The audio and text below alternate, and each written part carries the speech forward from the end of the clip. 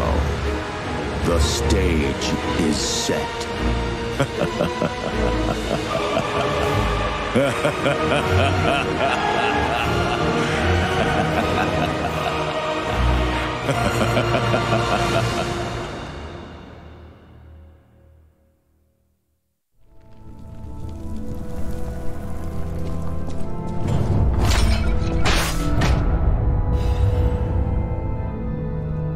I want to go back to the old Krat.